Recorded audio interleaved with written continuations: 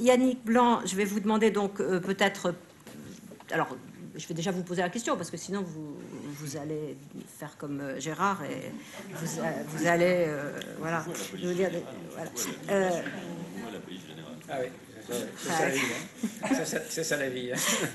Non, donc c'est ça. Bon, vous, euh, de votre, euh, de votre poste d'observation, celui qui a été le vôtre pendant longtemps, bah, comment euh, vous recevez, dans tous les sens du mot, hein, c'est-à-dire à la fois matériellement et, et- et psychologiquement les, les circulaires, et, et qu'est-ce que vous en faites par rapport aux agents, euh, puisque c'est vous qui les recevez. hein, mais voilà. Après, on parlera de qu'est-ce qui se passe quand le Conseil d'État annule, ce qui est quand même le, le fond aussi de notre euh, question. Ah, pardon. Voilà, ça, c'est précisément. Alors, après, devant ce, devant ce, ce parterre euh, de juristes et après toute une, toute une euh, partie de journée passée à s'interroger sur euh, la politique de l'immigration au travers du prisme du droit, euh, je vais vous proposer un angle de vue alors totalement, totalement différent, euh, qui est celui vu des bureaux, hein, des bureaux de la préfecture de police, où euh, l'univers dans lequel on vit euh, est un univers du chiffre. C'est un univers du chiffre, du nombre, de la quantité, sous la contrainte du droit. Mais euh, on se tromperait complètement en croyant que le métier de l'administration, dans cette matière-là, les choses peuvent être très très différentes d'un domaine à l'autre de l'administration. Euh, une circulaire d'organisation des élections, ça n'a pas ni la même fonction, ni le même contenu, ni le même destin qu'une circulaire de régularisation des étrangers. Euh, mais en tout cas, dans ce domaine-là, euh, l'univers dans lequel on débarque quand on devient un jour directeur de la police générale, sans jamais s'être par ailleurs occupé de droit des étrangers, c'est le- le- les dossiers que vous avez sur votre bureau qu'ont préparé vos collaborateurs pour vous accueillir, ce ne sont pas des dossiers où il y a le droit des étrangers, ce sont des dossiers où il y a les chiffres, toutes sortes de chiffres. Euh, le, métier de, le métier de directeur de la police générale, c'est d'abord un métier de gestionnaire de grand nombre. Alors, la direction de la police générale, il y a deux moitiés. Il y a la moitié qui délivre des papiers aux Français, donc des cartes d'identité, euh, euh, aux Français, aux, résidents, cartes d'identité pour les Français, et passeports, permis de conduire, carte grise, euh, etc., etc. Et puis il y a la sous-direction de l'administration des étrangers, 450 agents, une dizaine de sites dans Paris, euh, 125 000 titres de séjour délivrés chaque année. J'ai oublié le, le nombre de titres précaires, mais ça se chiffre en centaines de milliers aussi. Donc on est tout de suite plongé dans un univers de chiffres et de logistique. Euh, le, travail de management le plus intéressant que j'ai fait pendant ces deux ans à la préfecture de police, ça a été l'installation de gestionnaires des files d'attente et l'installation et la, et- et la mise en place progressive du système de rendez-vous, d'abord par téléphone puis par Internet. La gestion du délai, du nombre, du chiffre est une obsession administrative permanente. Si on ajoute à ça que le débat public, l'énoncé des objectifs politiques en matière d'immigration euh, se fait également sous forme de chiffres, sous forme de bataille de chiffres, sous forme de commentaires de chiffres, on comprend que euh, c'est là, que- les choses se passent. Et euh, la façon dont, le, travail des, des- des fonctionnaires est organisé va d'abord reposer là-dessus. Euh, on fait des tableaux de bord, euh, on élabore des méthodes statistiques, on rend compte du nombre de choses qu'on fait, du nombre de titres, du nombre d'étrangers qu'on reçoit, du nombre de titres qu'on délivre, catégorie par catégorie, de l'évolution euh, de ces nombres d'une année sur l'autre, et bien entendu, pour la période qui m'intéresse, il y a un chiffre qui a préséance sur tous les autres dans les relations hiérarchiques que le service de terrain entretient avec euh, le ministère, c'est le nombre de reconduites à la frontière. Et dans la statistique de reconduite à la frontière, il y a encore des sous-statistiques euh, euh, extrêmement variées. Le nombre d'interpellations, le nombre de gardes à vue, le nombre d'étrangers placés en rétention, euh, le nombre euh, d'arrêtés annulés, bien entendu, euh, le nombre de rétentions annulées par le juge de- de- des libertés et de la détention, le nombre de laissés-passer délivrés par les consulats, le nombre d'étrangers effectivement conduits à la frontière. Et, dans l'activité de la sous-direction de l'administration des étrangers de la préfecture de police, le tableau Excel l'emporte de loin sur le code. De loin. Euh, une, des, premières surprises que j'ai eues en, en arrivant à la préfecture de police, Et alors que moi-même, je, cherchais évidemment à accroître le plus vite possible ma compétence juridique en matière de droit des étrangers, ma première surprise a été de constater que les agents du guichet euh, et euh, les agents qui les encadrent directement, donc les agents de catégorie B et C, euh, ne disposaient d'aucun manuel juridique. il n'existe pas au niveau de l'agent, on pourrait s'attendre à ce qu'il y ait un manuel de procédure. Que, dans, ce que Gérard Moreau appelait tout à l'heure la traduction de la circulaire, eh bien, on est son livret avec ses fiches, avec les situations types, avec la description euh, même la description de la procédure matérielle. Dans quel ordre on fait euh, On examine le dossier, les pièces qu'il y a dans le dossier, euh, et puis ensuite, selon les situations, l'article qui s'applique et, celui qu'on peut, l'article de, la loi qu'on peut opposer à l'étranger qui demande quelque chose.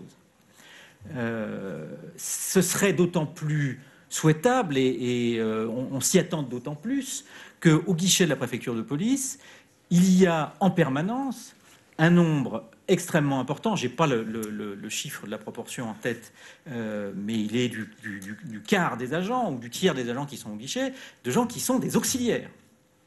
Hein, ce sont des gens qui sont recrutés sur des contrats de six mois, ce sont des étudiants qui n'ont aucune formation. Et euh, dans l'administration, le travail du guichet, c'est le travail le moins valorisé. C'est là qu'on met l'agent qui a le moins de qualifications. Hein, euh, à la préfecture de police, il y, a, il y a, dans les agents de guichet, il y a deux cultures il y a les gens qui n'ont fait que du guichet toute leur vie et qui ne veulent pas faire autre chose, mais on les trouve plutôt dans les services qui accueillent euh, les, ressortissants en tout genre, et puis les gens qui sont affectés au guichet quand ils sont recrutés, parce que c'est là qu'on a besoin, c'est l'infanterie, c'est là qu'on a besoin de troupes, et qui n'ont qu'une hâte, c'est d'en partir. Parce que c'est un métier particulièrement difficile, et il est particulièrement difficile quand on a affaire aux étrangers. Eh bien, ces agents n'ont pas de manuel de procédure. Ces agents euh, travaillent euh, sur la base d'une formation entre pairs, c'est-à-dire il y a des façons de faire qui sont transmises de guichet à guichet et euh, des façons de faire qui sont euh, reproduites, transmises, encadrées par le premier rang d'encadrement hiérarchique, c'est-à-dire ce qu'on appelle chez nous les vérificatrices, puisque ce sont 95% ou 99% des femmes qui sont les agents soit de catégorie C chevronnée, soit de catégorie B. Et donc la pratique effective de la mise en œuvre du droit vis-à-vis de l'usager, elle se fait à ce niveau avec ses agents. Bien entendu, alors j'en viens à un autre sujet, qu'est-ce qui se passe quand le droit change? Euh, Comment se transmet, euh, euh, non seulement la circulaire, mais le changement de la loi? Parce que dans la période où j'ai vécu le droit des étrangers, le changement de la loi, il y en a eu plus souvent que des circulaires. Hein? Le changement de la loi, le changement de loi s'accompagne parfois d'une circulaire, mais dans l'expérience qui est la mienne, la circulaire arrive bien, bien, bien, bien plus tard que le moment où la loi commence à s'appliquer. Et bien plus tard que le moment où les étrangers arrivent accompagnés de gens dans votre genre qui expliquent aux, agents du guichet qu'il faut appliquer la loi. Bien. Euh, voilà ce que je peux dire. Euh, voilà ce que je peux dire introduction. Bon, alors je suis un peu embêtée parce que, en fait, on a déjà mangé euh, les bons deux tiers euh, de notre temps. Il faudrait éteindre votre... Pardonnez-moi, je, voudrais, ajouter trois phrases. Ah je voudrais ajouter trois phrases parce que sinon mon exposé serait vraiment incomplet sur la circulaire de 2006. Euh, parce que l'expérience est intéressante, mais à un autre niveau. La circulaire du 13 juin 2006 qui prévoyait la possibilité de régulariser les, les parents ayant des enfants scolarisés. Euh, c'est un exemple très intéressant, c'est un, exemple qui montre à quel point l'ensemble de ce dispositif, entre les la façon dont les objectifs politiques sont formulés et la façon dont la pratique administrative s'applique en fait aux gens qui sont les, usagers, les justiciables, etc., comment ce système est, en réalité totalement chaotique et discontinu. Euh, cette circulaire a été rédigée très rapidement, pas par les services, mais par le cabinet du ministre, dans un contexte où le ministre de l'Intérieur était en train de faire voter donc la loi de 2006, celle qui allait devenir la loi du 24 juillet, et où, arrivant après première lecture à l'Assemblée nationale au Sénat, s'apercevait qu'il n'avait pas de majorité pour voter cette loi, car le groupe de l'Union centriste avait des états d'âme, et ces états d'âme étaient notamment euh, provoqués et entretenus par euh, les événements qui avaient euh, donné sa prospérité à, à Donc, les, les événements d'interpellation de parents, etc. et donc, c'est sur l'initiative de l'attaché parlementaire du ministre de l'Intérieur, garçon par ailleurs de grand talent, que cette circulaire a été rédigée très rapidement. elle a été rédigée par des gens qui avaient une certaine connaissance de la matière, mais un peu superficielle, au sens où on a retrouvé dans les critères de, régularisation, pour l'essentiel, des critères qui étaient déjà ceux appliqués par la jurisprudence, et puis euh, une durée de séjour qui, par contre, était infiniment plus généreuse, puisque la durée de séjour exigée était de deux ans.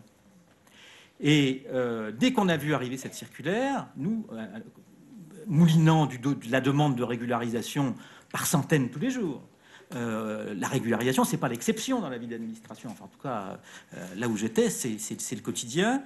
On s'est tout de suite rendu compte que le râteau était trop large. Enfin, trop large. Tout dépend quel était l'objectif qu'on poursuivait. Mais enfin, qu'on était parti pour régulariser des milliers et des milliers de gens. Et il faut se, enfin, du 13 juin, date d'arrivée de la circulaire sur la messagerie électronique, au 7 juillet, date de la première réunion ministérielle, il ne s'est rien passé. C'est-à-dire que non seulement la, dizaine de préfectures qui font 95% du chiffre d'administration des étrangers en France n'avaient nullement été consultées avant de, signer la circulaire, ce qu'on fait quand même maintenant dans la plupart des domaines administratifs, mais euh, la circulaire elle-même n'a été accompagnée d'aucune réunion de concertation, d'orientation, etc. Et donc, euh, euh, la logique du chiffre ensuite a repris le dessus.